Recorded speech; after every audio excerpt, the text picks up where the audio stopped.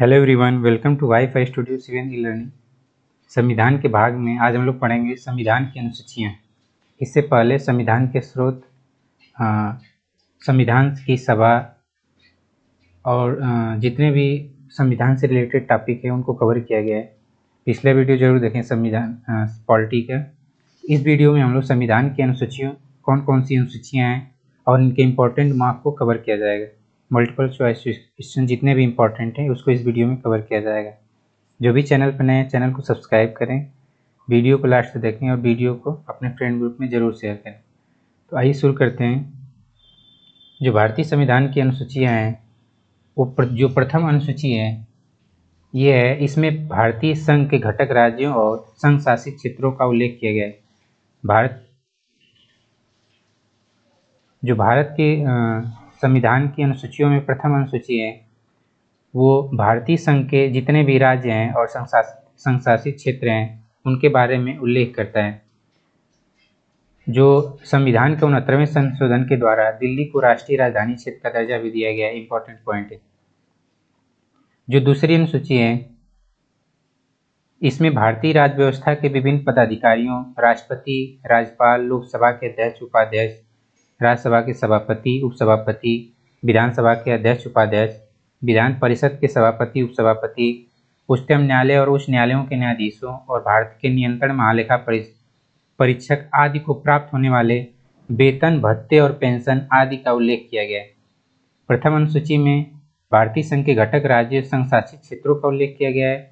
दूसरी अनुसूची में भारतीय राजव्यवस्था के जितने भी पदाधिकारी हैं, उनके वेतन, भत्ते और पेंशन आदि का उल्लेख किया गया। जो तीसरी अनुसूची है, इसमें विभिन्न पदाधिकारियों जैसे मंत्री, उच्च और उच्चतम न्यायालय के न्यायाधीशों द्वारा पद ग्रहण के समय ली जाने वाली शपथ का उल्लेख है। तीसरी अनुसूची में शपथ का उल्लेख है। नेक्स्ट है, जो चौथी अनुसूची है, इसमें विभिन्न राज्यों और संघ, संघीय क्षेत्रों की राज्यसभा में प्रतिनिधित्व का विवरण दिया गया है। इसमें राज्यसभा में जितने भी प्रतिनिधित्व करते हैं, उनका विवरण चौथी अनुसूची में, भारतीय संविधान के चौथी अनुसूची में दिया गया है। नेक्स्ट है पांचवी अनुसूची। पांचवी अनुसूची में अनुसूचित क्षेत्रों और अनुसूचित जनजाति के प्रशासन और नियंत्रण के बारे में उल्लेख है। अनुसूचित क्षेत्रों और अनुसूचित जनजाति के प्रशासन और नियंत्रण के बारे में उल्लेख है। जो छठी अनुसूची है, छठी अनुसूची में इसमें असम, मेघालय, त्रिपुरा और मिजोरम राज्यों के जनजाति क्षेत्रों के प्रशासन के बारे में प्रावधान है। नेक्स्ट है, सातवीं अनुसूची। सातवीं अनुसूची में केंद्र एवं राज्यों के बीच शक्ति के बंटवारे के बारे में दिया गया है, तथा इसी अनुसूची में सरकार द्वारा शुल्क एवं कर लगाने का अधिकार का उल्लेख किया गया है। इंपॉर्टेंट पॉइंट है, इसके अंतर्गत तीन अनुसूचियाँ हैं संघ सूची राज सूची और समवर्ती सूची। तो जो संघ सूची है, ये इस विषय पर इस सूची में जितने भी विषय दिए गए हैं, इस पर केंद्र सरकार कानून बनाती है। संविधान के लागू होने के समय इसमें संतानवे विषय थे, अब इसमें सौ विषय होंगे। राज्य सूची। इस सूची में जित, राज्य सूची में जितने भी विषय दिए जाते हैं, उस पर राज्य सरकार कानून बनाती है। राष्ट्र हित से संबंधित होने पर केंद्र सरकार भी कानून बना सकते हैं।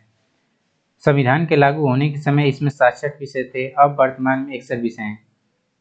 नेक्स्ट है समवर्ती सूची। समर्थी सूची के अंतर्गत जितने भी विषय आते हैं, उस पर केंद्र एवं राज्य दोनों सरकारें कानून बना सकती हैं। परंतु कानून के विषय में समान होने पर केंद्र सरकार द्वारा बनाया गया कानून ही मान्य होता है।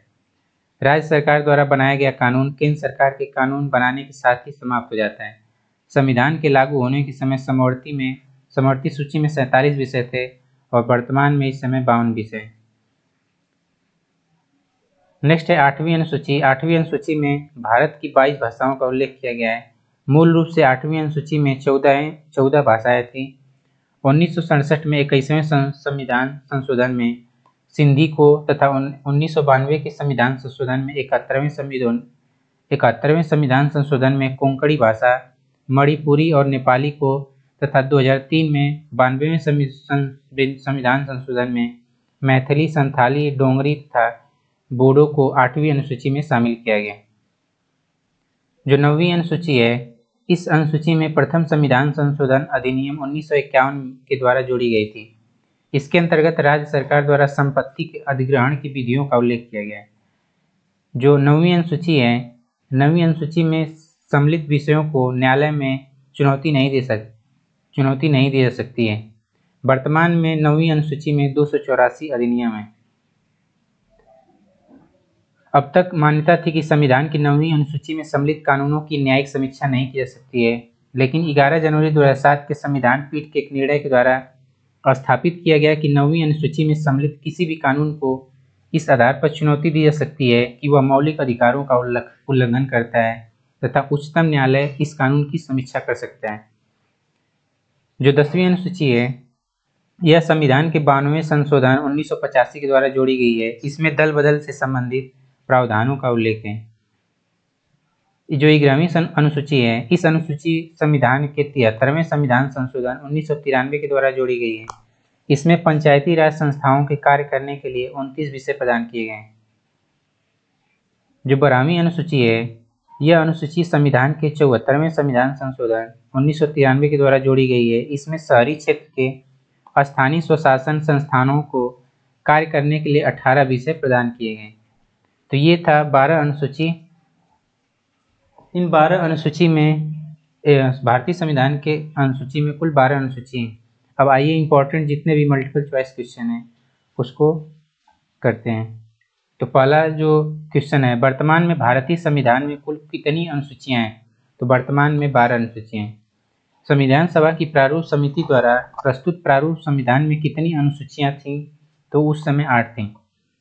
भारतीय संविधान द्वारा अंतिम रूप से पारित संविधान की कुल कितनी अनुसूचियाँ थीं? तो कुल टोटल आठ अनुसूचियाँ थीं। नेक्स्ट क्वेश्चन है, संविधान की किस अनुसूची में प्रत्येक राज्यों तथा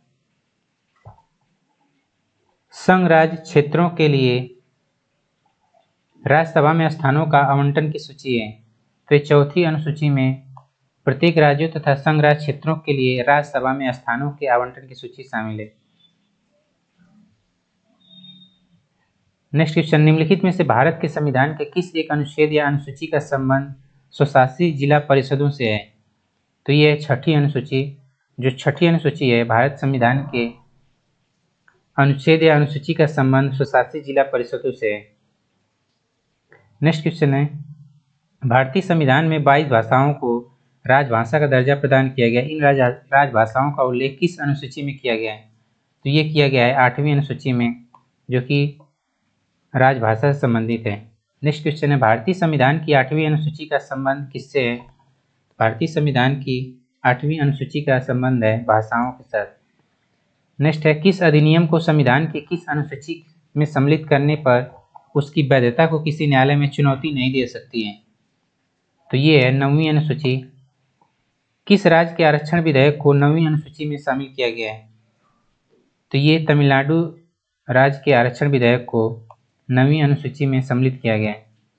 नेक्स्ट क्वेश्चन है, हाल ही में आंध्र प्रदेश से अलग होकर एक नए राज्य तेलंगाना का गठन हुआ। इसमें भारतीय संविधान की किस सूची में परिवर्तन होता है? तो ये अनुसूची एक में जो संघ और राज्य क्षेत्रों के बारे में बताता है, अनुसूची एक में परिवर्तन होता है। दल बदल के आधार पर निर्वाचित सदस्यों की अयोग्यता संबंधी विवरण संविधान के किस अनुसूची में दिया गया है? तो ये दिया गया है दसवीं अनुसूची में। नेक्स्ट क्वेश्चन है, भारतीय संविधान की दसवीं अनुसूची किससे संबंधित है? तो जो भारतीय संविधान की दसवीं अनुसूची है, वो दल बदल कानून से संबंधित है। नेक्स्ट क्वेश्चन है, संविधान की छठी अनुसूची इनमें से किस राज्य में लागू नहीं होती? है तो जो भारत की छठी अनुसूची है वो असम मेघालय त्रिपुरा में लागू होता है, लेकिन मणिपुर में लागू नहीं होता है। नेक्स्ट क्वेश्चन इसको मिलान करना है। जो चतुर्थ अनुसूची है, वो राज्यसभा संबंधित है। जो छठी अनुसूची है, वो जनजाति क्षेत्र से संबंधित है। जो आठवीं अनुसूची है, वो भाषा संबंधित है। और जो नौवीं अनुसूची है, वो भूमि सिद्धार्थ से संबंधित है। नेक्स्ट इसको भी सम्मिलित करना है। तो जो आठवीं अनुसूची है वो राष्ट्रीय भाषा से संबंधित है। जो नौवीं अनुसूची है, नौवीं अनुसूची इस अधिनियम में सम्मिलित अधिनियम न्यायालय के अधिकार क्षेत्र से बाहर है। जो दसवीं अनुसूची है, ये दल बदल विरोध कानून को प्रदर्शित करता है। जो ग्यारहवीं अनुसूची है, वो पंचायत राज व्यवस्था का प्रावधान संबंधित है। नेक्स्ट है, प्रशासनिक उपबंध दिया गया है और अनुसूचियाँ दिया गया है। तो जो असम, मेघालय, त्रिपुरा और मिजोरम के जनजातीय क्षेत्र हैं वो छठी अनुसूची से संबंधित हैं। नेक्स्ट है, अखिल भारतीय सेवाएँ। जो अखिल भारतीय सेवाएँ हैं, वो सातवीं अनुसूची से संबंधित हैं। जो भारत की नियंत्रण और महालेखा परिषद है, ये संबंधित है दूसरी अनुसूची से। नेक्स्ट है, अनुसूचित क्षेत्रों तथा अनुसूचित जनजातियों का नियंत्रण, ये संबंधित है पांचवी अनुसूची से। नेक्स्ट क्वेश्चन इसको भी सम्मिलित करना है। जो आठवीं अनुसूची है, आठवीं अनुसूची भाषा से संबंधित है, जो दूसरी अनुसूची है, शपथ तथा प्रतिज्ञान के प्रारूप से संबंधित है, जो चौथी अनुसूची है, राज्यसभा में स्थानों के आवंटन से संबंधित है, और जो दसवीं अनुसूची है दल बदल के आधार पर निर्भरता के बारे में उपबंध से संबंधित है। नेक्स्ट क्वेश्चन है, भारतीय संविधान की ग्रामीण अनुसूची किससे संबंधित है? तो भारतीय संविधान की जो ग्रामीण अनुसूची है, वो पंचायती राज से संबंधित है। नेक्स्ट क्वेश्चन है निम्नलिखित में से कौन सा एक कथन भारत के संविधान की चौथी अनुसूची का सही वर्णन करता है? तो भारतीय, इसमें कौन सा कथन है जो भारत संविधान की चौथी अनुसूची का सही वर्णन करता है? ये है, इसमें राज्यसभा के स्थानों के आवंटन संबंधित उपबंध अंतर्विष्ट हैं। नेक्स्ट है, इसको भी मिलान करना है। प्रशासनिक उपबंध दिया गया है और संबंधित अनुसूचियाँ दी गई है। राज्य और